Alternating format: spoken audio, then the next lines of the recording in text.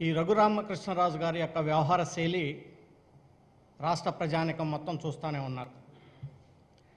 ఆయన ఎంపీ కాకముందే సుమారుగా ఐదు సార్లు పార్టీలు మార్చాడు. ఎంపీ కాకముందే. తెలుగుదేశం బీజేపీ మళ్ళీ తెలుగుదేశం బీజేపీ వైఎస్ఆర్ అతని వ్యవహార శైలి రాష్ట్ర ప్రజానికి అందరికీ తెలిసినటువంటి విషయం అతను మొట్టమొదటిగా ఎంపీ అయినటువంటి వ్యక్తి.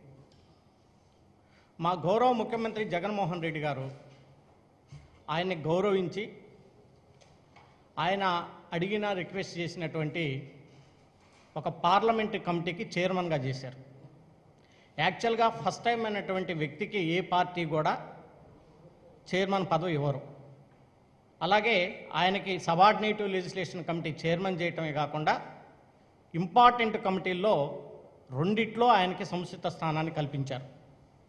ఎవరికి లోక్సభ సభ్యుల్లో అంత ప్రాధాన్యత ఎవరికి ఇవ్వలేదు. మా ముఖ్యమంత్రి గారు అతను ఏదో రిక్వెస్ట్ చేసుకుంటున్నాడు అడుగుతున్నాడు పోనీయండిలే అని చెప్పేసి మిగిలిన వాళ్ళందరికీ చెప్పి ఆయన అంత గౌరవించాడు. ఆయన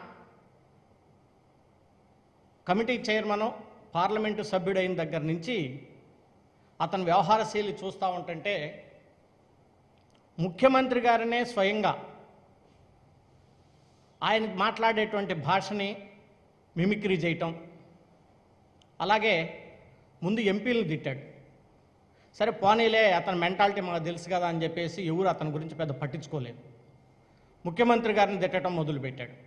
తర్వాత ఐఏఎస్ ఆఫీసర్ని ఐపీఎస్ ఆఫీసర్ని వాడు వీడు అంటాడు ఒరే అంటాడు ఇవన్నీ చూస్తూ ఉంటుంటే ప్రజలు ఈతను ఏ రకమైనటువంటి వ్యక్తి అనేటువంటి విషయాన్ని ప్రజలు అర్థం చేసుకుంటా ఉన్నారు.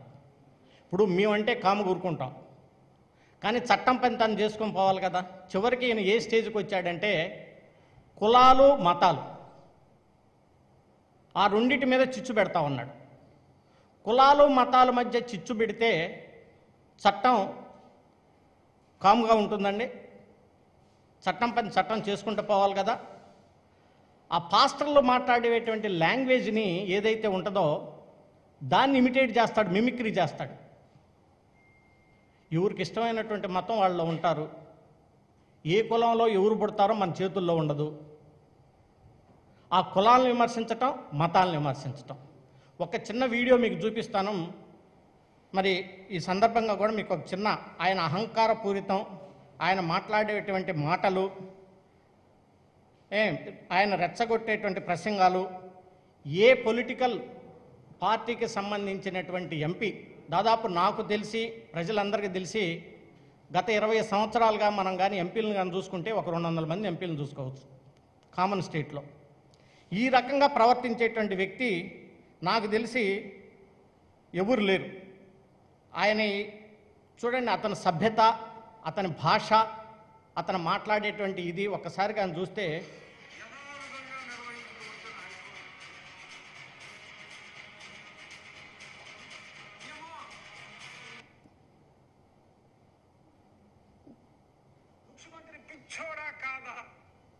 ఇదే పిచ్చోడా ముఖ్యమంత్రి మాట్లాడే భాష. తీసుకెళ్ళి టెస్టులు చేస్తారు ఎక్కడున్న నా ఏ ఒక్క వెంట్రుక పీకలేరు ఎక్కడున్నా ఈయన ఎంట్రుక ఒక్కటి పీకలేరంట. నేను అడుగుతా ఉన్నాను ప్రతిపక్ష పార్టీలు ఉత్తరాలు రాశాయి. భుజం మీద ఎక్కించుకొని ఆయన తిప్పుతా ఉన్నారు. ఇతను మాట్లాడినటువంటి భాష ఇతను ప్రవర్తించేటువంటి తీరు మీ పార్టీలో ఎవరైనా ఒకళ్ళు మాట్లాడితే నా ఇంట్రుక పీకలేరు అని చెప్పేసి మిమ్మల్ని అంటే చంద్రబాబు నాయుడు గారు మీరు కాము కూరుకుంటారా? జనసేన పార్టీ వాళ్ళు మీరు కాము కూరుకుంటారా? నా ఇంటిక పీకలేరంటే? ఒరేయ్ అతను మాట్లాడేటువంటి భాష. ఒరేయ్ నా కొడక మాడ సిగ్గులేదురా? మీసాలు తిప్పుతాడు. ఇంకొక్కడికే ఉన్నాయండి మీసాలు? ఇదే ఒక ఎంపీగా ఎన్నుకున్నటువంటి ప్రజలకి మనం ఇవ్వాల్సినటువంటి జవాబుదారితనంలో ఉన్నటువంటి మనం ఇవ్వాల్సినటువంటి మెసేజ్ ఇదే ఆయన ఇవ్వాల్సినటువంటి మెసేజ్. ఈరోజు చంద్రబాబు నాయుడు గారు ఈయన్ని భుజానెక్కించుకొని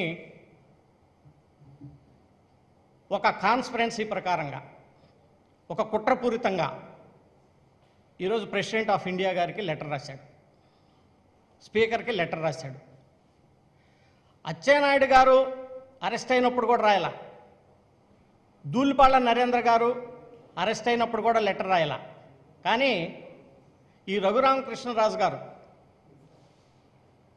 ఆయన ఏ రకంగా అరెస్ట్ అయ్యారో ప్రజలందరికీ తెలుసు. మరి ఆ రకంగా అరెస్ట్ అయితే పక్క రాష్ట్రాల్లో కూర్చొని ఈ రాష్ట్రంలోకి వస్తే కరోనాకి భయపడిపోయి లేదా ఇక్కడ ప్రజలకి ఏదన్నా సేవ చేయాల్సి వస్తుందని చెప్పి పక్క రాష్ట్రంలో కూర్చొని ఉత్తరాలు రాస్తాడు. మరి రఘురామకృష్ణరాజు గారిని కొట్టారు కొట్టారు అని చెప్పేసి మాట్లాడేటువంటి వీళ్ళు మరి పోలీసులు మొన్న తెలుగుదేశం పార్టీకి చెందినటువంటి అచ్చెన్నాయుడు గారిని ధూళిపల్లి నరేంద్ర గారిని ఇద్దరిని అరెస్ట్ చేశారు. వాళ్ళ అభియోగం చేయలేదే ఎక్కడ? మమ్మల్ని కొట్టారనేటువంటి అభియోగం చేయలేదే? ఆయన కూడా సిట్టింగ్ ఎమ్మెల్యేనే. తెలుగుదేశం పార్టీకి ఆంధ్ర రాష్ట్రానికి అధ్యక్షుడు. వాళ్ళు ఎక్కడ చేయలేదే ఈ బెయిల్ కోసం వీళ్ళు ఆడుతున్నటువంటి ఒక నాటకంలో ఇది భాగంగా నేను చెప్తా ఉన్నాను. అదే రకంగా